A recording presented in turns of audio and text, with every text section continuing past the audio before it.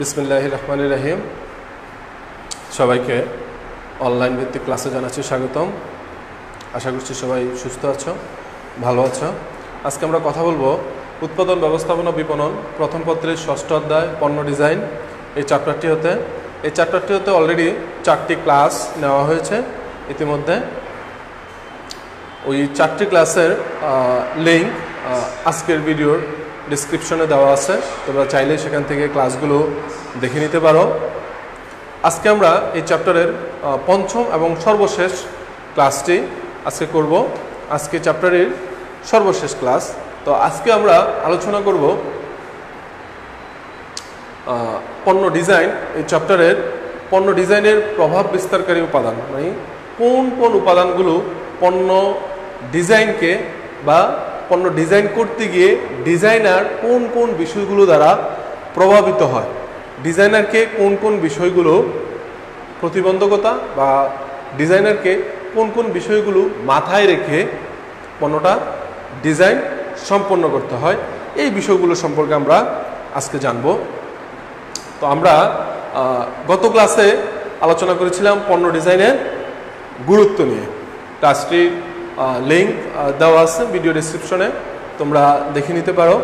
আর যারা ক্লাসে অংশগ্রহণ করেছ বা করবে, তারা অবশ্যই তাদের সেকশন এবং রোল নাম্বারগুলো কমেন্ট বক্সকে কমেন্ট করবে, তাহলে আমরা বুঝতে পারব যে কী পরিমাণ স্টুডেন্ট আমাদের ক্লাসগুলোতে অংশগ্রহণ করছে। তো আমরা মূল আলোচনা চলে যাই। আমাদের আজকের আলোচ্য বিষয় হচ্ছে পণ্য ডিজাইনের প্রভাব বিস্তারকারী উপাদান। তোমরা দেখতে পাচ্ছ আজকের আলোচ্য বিষয় পণ্য ডিজাইনের প্রভাব বিস্তারকারী উপাদান মানে পণ্য ডিজাইনের উপরে কোন কোন বিষয়গুলো প্রভাব বিস্তার করবে। তো আমরা আগেই জেনেছি যে পণ্য ডিজাইন বলতে কি বোঝায়? পণ্য ডিজাইন বলতে বোঝায় কোনো একটি পণ্য উৎপাদনের পূর্বে পণ্যের আকার, আকৃতি, রং, রূপ, মান, বৈশিষ্ট্য মানে সব কিছু একটা পণ্য উৎপাদনের আগে পণ্যটা কেমন হবে, কীভাবে হবে, কার জন্য উৎপাদন করবে, সকল কিছু ডিসিশন নেওয়াকে, নির্ধারণ করাকে পণ্য ডিজাইন বলা হয়। পণ্য ডিজাইন হচ্ছে ওয়ান কাইন্ড অফ প্ল্যানিং যে কীভাবে আমি পণ্যটা তৈরি করব, কোন পরিকল্পনা অনুযায়ী পণ্যটা তৈরি করব, পণ্যটির বাহ্যিক সৌন্দর্য কী হবে ভিতরে কী আছে ওভারঅল সব কিছু একটা পণ্যের ওভারঅল সব কিছু পণ্য ডিজাইনে নির্ধারণ করা হয়। তো আমরা এখন দেখব যে এই পণ্য ডিজাইন করতে গিয়ে একজন ডিজাইনার কি কী বিষয় দ্বারা প্রভাবিত হয়। ফার্স্ট ফার্স্ট সে প্রভাবিত হয় ক্রেতার চাহিদা দ্বারা। কোনো একটি পণ্য সে ডিজাইন করবে সেই পণ্য ডিজাইন করতে গিয়ে সর্বপ্রথম তার খেয়াল রাখতে হবে যে ক্রেতার চাহিদা কিরূপ। কীভাবে ডিজাইন করলে এই পণ্যটি ক্রেতার চাহিদা পরিপূর্ণ করতে পারবে বা ক্রেতা তার চাহিদা মতো পণ্যটি পাবে, সে অনুযায়ী আমাকে পণ্যটি ডিজাইন করতে হবে। আমি পণ্যটি ডিজাইন করলাম, কিন্তু ক্রেতার চাহিদা মেটাতে পারল না, তাহলে ক্রেতা কিন্তু এই পণ্যটি হতে মুখ ফিরিয়ে নিবে। আমার এই ডিজাইনের মূল উদ্দেশ্য হচ্ছে কিন্তু পণ্যের বিক্রয় বৃদ্ধি করা। পণ্যের বিক্রয় কখন বৃদ্ধি পাবে? যখন পণ্য ক্রেতা ক্রয় করবে। ক্রেতা কখন পণ্য ক্রয় করবে? ক্রেতা তখনই পণ্য ক্রয় করবে, যখন এই পণ্যটি ক্রেতার চাহিদা মেটাতে সক্ষম হবে। এখন আমি একটি পণ্য ক্রয় করলাম, কিন্তু সেটা আমার চাহিদা মেটাতে পারছে না। আমি তো আমি পণ্যটি ক্রয় করব না। আমি মার্কারটা ক্রয় করছি কিসের জন্য? লেখার জন্য। কিন্তু মার্কার দিয়ে যদি আমি ঠিকভাবে লিখতে না পারি, আমি কি মার্কারটা ক্রয় করব? ক্রয় করব না।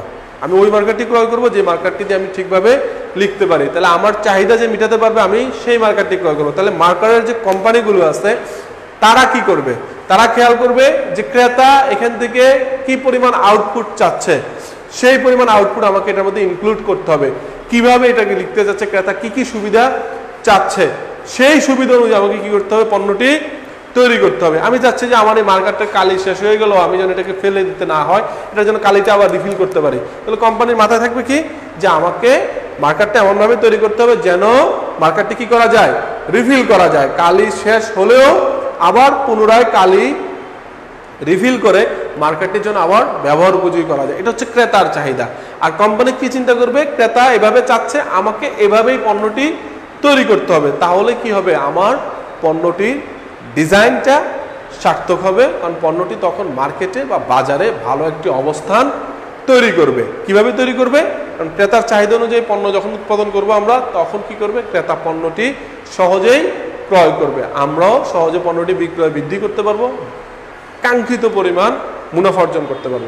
তাহলে আমাদের ফার্স্ট কোন বিষয়টি ডিজাইনারকে প্রভাবিত করে? ক্রেতার চাহিদা। ডিজাইনারকে সবসময় মনে রাখতে হবে যে ক্রেতার কীভাবে পণ্যটি চাচ্ছে? ক্রেতার চাহিদা অনুযায়ী পণ্যটি তৈরি করতে হবে। আশা করি তোমরা সবাই বুঝতে পেরেছ। এবার আসি আমরা সেকেন্ড কোন বিষয়টি ডিজাইনারকে প্রভাবিত করে বা উৎপাদককে প্রভাবিত করে পণ্য ডিজাইনে? সেটা হচ্ছে উৎপাদন কার্যের সুবিধা। আমার পণ্যের ডিজাইনটি এমনভাবে করতে হবে যেন আমি পণ্যটি সহজেই উৎপাদন করতে পারি। আমার উৎপাদন কাজে যেন কোনো প্রকার কোনো বাধা বিঘ্ন সৃষ্টি না হয়। আমি এমনভাবে পণ্যটি ডিজাইন করলাম যেটা আমি উৎপাদনই করতে পারতেছি না। উৎপাদন করতে গিয়ে নানা ধরনের বাধার সম্মুখীন হচ্ছে। তাহলে তো আমার ওই ডিজাইন করার কোনো মানে হয় না। আমাকে পণ্যটা এভাবে ডিজাইন করতে হবে যেন এটা আমার প্রতিষ্ঠানের যে ওয়ার্কার যারা আছে, যে যন্ত্রপাতি তারা যেন স্মুথলি পণ্যটি উৎপাদন করতে পারে। উৎপাদন কাজে যেন এই ডিজাইনটা কোনো প্রকার বাধা সৃষ্টি করতে না পারে। সেই অনুযায়ী আমাকে কি করতে হবে? পণ্যটি ডিজাইন করতে হবে। তার মানে আমি চলমান উৎপাদন ব্যবস্থার দিকে খেয়াল রেখে আমাকে কি করতে হবে? পণ্য ডিজাইন করতে হবে। পণ্য ডিজাইনটা এমন হতে হবে যেন পণ্য উৎপাদন করতে গিয়ে বা উৎপাদন যে প্রক্রিয়াটা রয়েছে, সে প্রক্রিয়ার কোথাও যেন পণ্যটি উৎপাদনে বাধার সম্মুখীন না হয়। উৎপাদন কার্যে যেন পর্যাপ্ত পরিমাণ সুবিধা পাওয়া যায়। সেদিকে লক্ষ্য রেখে পণ্য ডিজাইন করতে হবে। তাহলে উৎপাদন কার্যে সুবিধাটা কি করতেছে? পণ্য ডিজাইনে প্রভাব বিস্তার করতেছে। আচ্ছা। এরপরে আসো তিন নাম্বার পয়েন্টে। তিন নাম্বারে দেওয়া আছে প্রতিষ্ঠানে বিদ্যমান যন্ত্রপাতি ও কর্মপদ্ধতি। তার মানে আমাকে প্রতিষ্ঠানে আমার কি যন্ত্রপাতি রয়েছে সেটা তো আমি ভালোভাবে জানি। এবং প্রতিষ্ঠানে কোন পদ্ধতিতে ওয়ার্কাররা বা শ্রমিকরা কাজ করে থাকে সেটাও আমার মাথায় আছে। এই দুইটা জিনিস মাথায় রেখে আমাকে কি করতে হবে? পণ্য ডিজাইন করতে হবে। আমি এমনভাবে পণ্য ডিজাইন করলাম যে এই পণ্য উৎপাদন করার যে ম্যাটেরিয়াল সেটা আমার প্রতিষ্ঠানেই নেই। প্রতিষ্ঠানে উপস্থিত নেই। তা আমি পণ্যটা ডিজাইন করে লাভ হবে কি? যদি আমি পণ্যটা উৎপাদনই করতে না পারলাম, পণ্যটা আমাকে এমনভাবে ডিজাইন করতে হবে যেন পণ্য উৎপাদন করতে যে যন্ত্রগুলা প্রয়োজন, পণ্য উৎপাদন করতে যে কর্মপদ্ধতি প্রয়োজন, সেটা যেন প্রতিষ্ঠানে উপস্থিত থাকে। প্রতিষ্ঠানে যদি সেই কর্মপদ্ধতি বা যন্ত্রপাতি বা শ্রমিক যদি উপস্থিত না থাকে, তাহলে আমার সেই ডিজাইন বাস্তবে রূপ নেবে না। কারণ আমাকে তো ডিজাইন করতে হবে, আমার প্রতিষ্ঠানে কি আছে সেটার উপরে। আমার প্রতিষ্ঠানে যেটা নেই, সেটার উপরে তো আমি এটা ডিজাইন করতে পারব না। আমি এমন একটা কাঁচামাল নির্ধারণ করলাম, যেটা আমার আশেপাশে নেই, যেটা আমার প্রতিষ্ঠানে রিস্ক করতে পারে না। তাহলে আমি আমার সেই পণ্যটাকে উৎপাদন করতে পারব? পারব না। আমি এমন একটা ডিজাইন করলাম যে ডিজাইন করার জন্য যে মেশিনের প্রয়োজন, সেই মেশিন আমার প্রতিষ্ঠানে নেই। সেই মেশিন কেনার মতো অ্যাবিলিটিও আমার নেই। তাহলে আমার পণ্য ডিজাইন করে লাভ হলো কি? পণ্যটার নকশা নির্ধারণ করে লাভটা হলো কি? কোনো লাভই হলো না। কারণ পণ্য উৎপাদন করতে পারতেছি না। কারণ পণ্য উৎপাদন করার জন্য যে যন্ত্র প্রয়োজন, যে কর্মপদ্ধতি প্রয়োজন, সেটা আমার কারখানায় অনুপস্থিত। তাহলে আমাকে কি করতে হবে? পণ্য ডিজাইনের সময় অবশ্যই খেয়াল রাখতে হবে আমার প্রতিষ্ঠানে কি কি যন্ত্রপাতি রয়েছে এবং আমার প্রতিষ্ঠানের যে ওয়ার্কার আছে, তারা কোন কোন কাজে এক্সপার্ট এবং তারা কোন পদ্ধতিতে কাজ করে অভ্যস্ত। এই বিষয়গুলো খেয়াল রেখে আমাকে কি করতে হবে? পণ্য ডিজাইন করতে হবে। যেন পণ্য উৎপাদন করতে গিয়ে আমরা কোনো প্রকার কোনো বাধার সম্মুখীন না হই।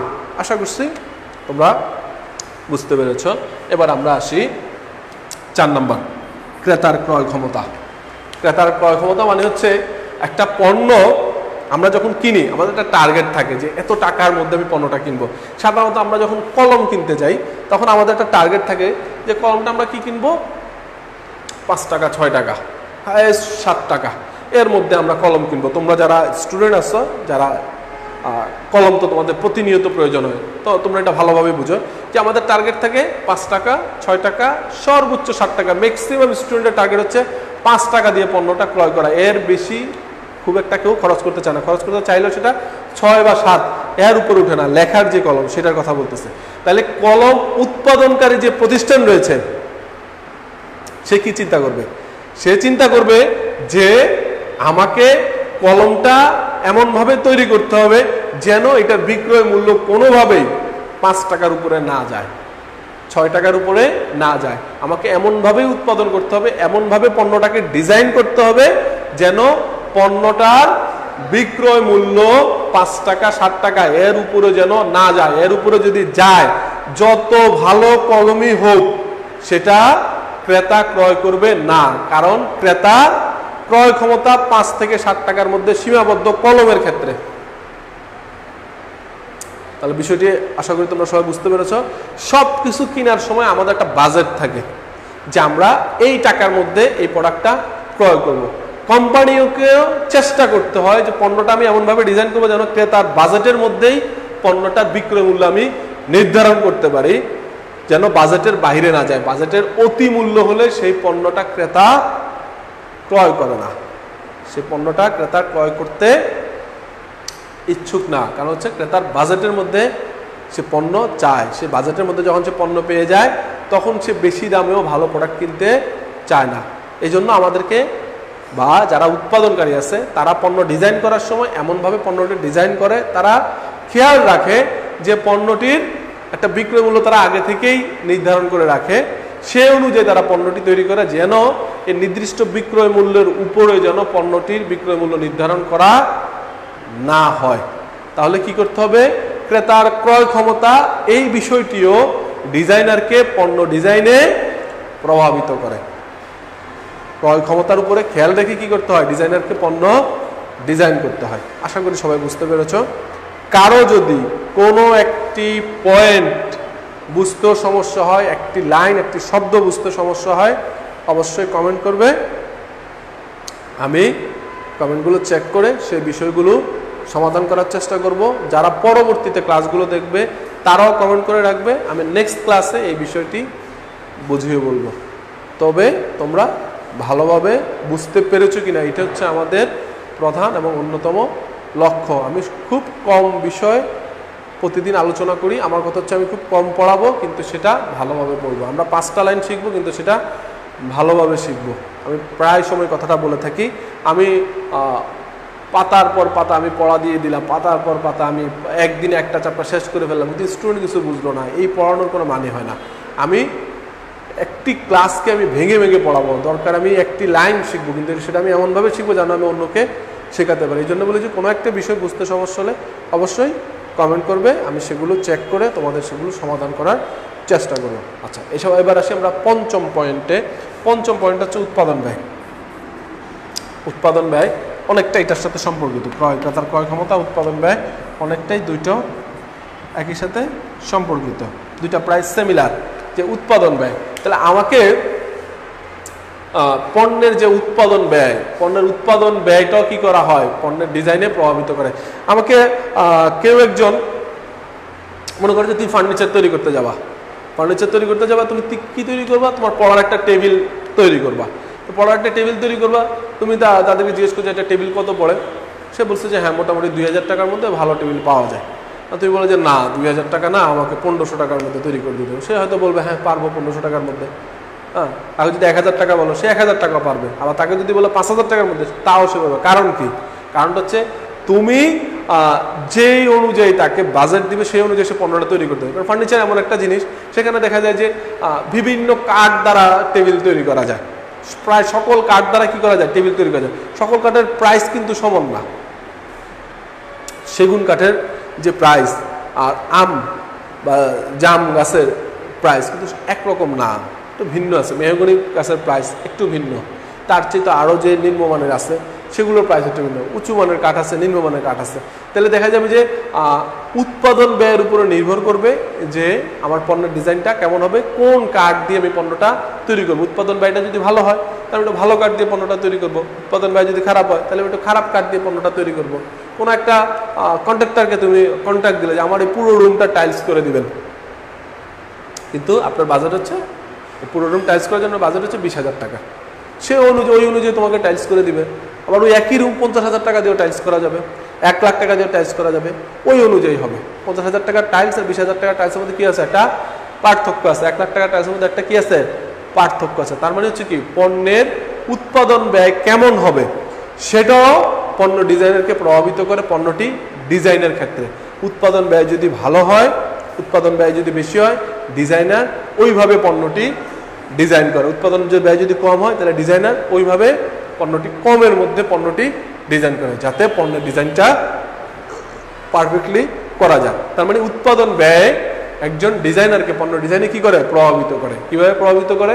আমি তো তোমাদের ওই ফার্নিচারের টেবিলের উদাহরণটি দিয়ে অলরেডি বুঝিয়ে বলেছি যে কীভাবে পণ্যের ডিজাইন করা হয় বা পণ্যের উৎপাদন ব্যয়টা কীভাবে পণ্যের ডিজাইনে প্রভাব বিস্তার করে। আচ্ছা এবার আসি আমরা গ্রহণযোগ্যতা ও স্থায়িত্ব।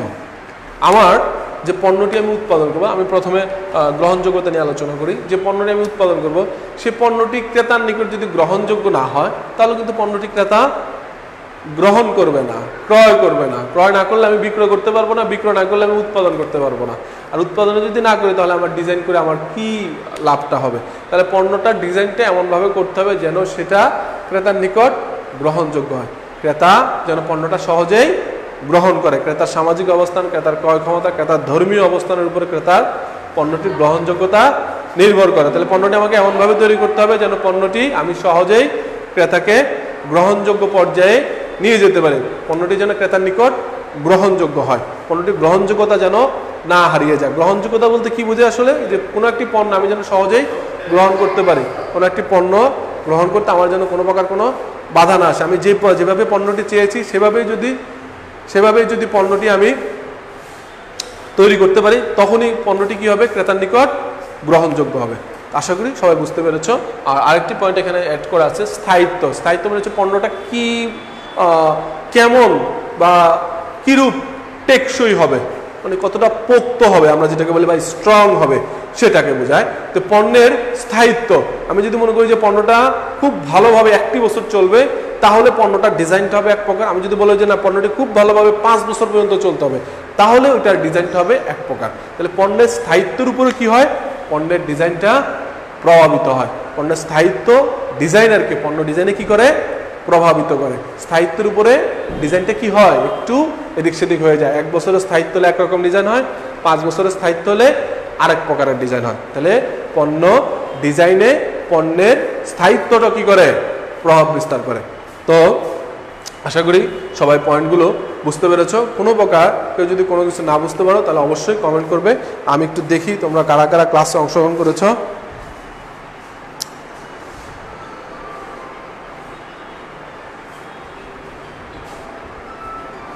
হাবিবা দিয়া আসসালামু আলাইকুম স্যার, ওয়ালাইকুম আসসালাম। ধন্যবাদ অংশগ্রহণের জন্য। সুজানা মনি, আসসালামু আলাইকুম স্যার, ওয়ালাইকুম আসসালাম, ধন্যবাদ। হাবিবা রিয়া রোল চারশো ষোলো। তুমি তোমার সেকশনটা উল্লেখ করোনি, আমি আশা করব তুমি সেকশনটি উল্লেখ করবে। হাবিবা রিয়া তোমার সেকশনটা উল্লেখ করো তুমি। তারপর হচ্ছে সুজানা মনি চারশো পঁয়ষট্টি সি টু বি, তার মানে আমাদের সেকেন্ড ইয়ারের পরীক্ষার্থী। ধন্যবাদ অংশগ্রহণের জন্য। তারপর হচ্ছে ওয়াজিফা নিশাত অংশগ্রহণ করেছে পায়েল সালাম দিয়েছে, ওয়ালাইকুম আসসালাম। তারপর হচ্ছে রাজিয়া আক্তার অংশগ্রহণ করেছে, জান্নাতুল ফেরদৌস একটি আইডি থেকে সবাইকে হয়তো ট্যাগ করা হয়েছে। যাক, ধন্যবাদ। জান্নাতুল ফেরদৌসকে টেস্ট করা হয়েছে। তাহিরাতুল জান্নাতকে ফাতেমা আক্তার ফা ফাহিমা, কায়নাত ইসলাম সবাইকে ট্যাগ করেছে বাট ওর আইডিটা আরবিতে দেওয়া। ওকে আসলে ভালোভাবে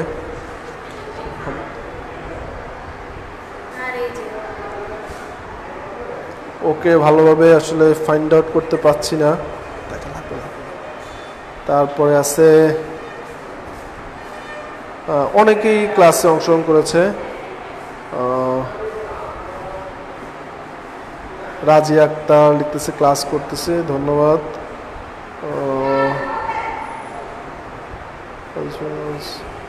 অজিফা নিশাত রোল চারশো চোদ্দ সি ওয়ানে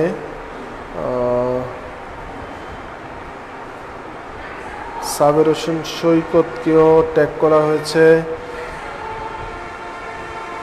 একজন বলছে, জি স্যার, সব বুঝছি এক্সামটা দিব না। সব যদি বুঝে থাকো, তাহলে এক্সাম দিতে প্রবলেম কি? এক্সামটা তো তোমরা বাসায় বসেই দেখতে পারবে। সামাজিক দূরত্ব বজায় রেখে এক্সামটা দেও তোমার সিদ্ধান্ত পরিবর্তন করো, না হলে সামনে এগুলা ক্লাস প্রমোশনের ক্ষেত্রে প্রবলেম হবে তোমাদের জন্য। রিমা আফরিন সালাম জানিয়েছে, ওয়ালাইকুম আসসালাম। রোল হচ্ছে চারশো আটত্রিশ সি ওয়ানে ধন্যবাদ সবাইকে, অনেকেই অংশগ্রহণ করেছ। সবাইকে ধন্যবাদ। আশা করি সবাই ক্লাসটি ভালোভাবে বুঝতে পেরেছ? তারপরও আমি সংক্ষেপে পুরো ক্লাসটি পাঁচ মিনিটের মধ্যে সংক্ষেপে প্রত্যেকটা পয়েন্ট জাস্ট এক লাইনে একটু রিভিউ করছি। তোমরা একটু ভালোভাবে খেয়াল করো। জাস্ট সংক্ষেপে পুরো ক্লাসটা একটু রিভিউ করছি। আজকে আমাদের আলোচ্য বিষয় পণ্য ডিজাইনের প্রভাব বিস্তারকারী উপাদান। মানে একজন ডিজাইনার যখন পণ্যটা ডিজাইন করবে নকশা করবে প্ল্যান করবে, তখন কি কি বিষয় দ্বারা সে প্রভাবিত হয়, কি কি জিনিস মাথায় রেখে তাকে পণ্যটাকে ডিজাইন করতে হয়। সেটা হচ্ছে আমাদের আজকের আলোচ্য বিষয়। ফার্স্ট হচ্ছে ক্রেতার চাহিদা। ক্রেতার চাহিদা বলতে কি বোঝায়? ক্রেতার চাহিদা বলতে ক্রেতা পণ্যটি থেকে কি কি সুবিধা চাচ্ছে, কি কি উপযোগ সে প্রত্যাশা করে। সে অনুযায়ী কি করতে হবে? পণ্যটি তৈরি করতে হবে। ক্রেতা যেন পণ্যটি থেকে যেই যেই সুবিধাগুলো চায়, যেই যে উপযোগগুলো চায়, সেগুলো যেন সে পায়, সেটা মাথায় রেখে কি করতে হবে? আমাকে পণ্যটা ডিজাইন করতে হবে। এমনভাবে পণ্যটা ডিজাইন করলাম, ক্রেতার চাহিদা ফুলফিল করতে পারল না। ক্রেতা কিন্তু পণ্যটি থেকে মুখ ফিরিয়ে নেবে। তার মানে আমাকে কি করতে হবে? ক্রেতা যেভাবে পণ্যটি চায়, সেভাবেই আমাকে কি করতে হবে? পণ্যটি তৈরি করতে হবে। এটা হচ্ছে ক্রেতার চাহিদা অনুযায়ী পণ্য তৈরি। তারপর হচ্ছে উৎপাদন কার্যের সুবিধা। উৎপাদন কার্যের সুবিধা বলতে কি বোঝায়?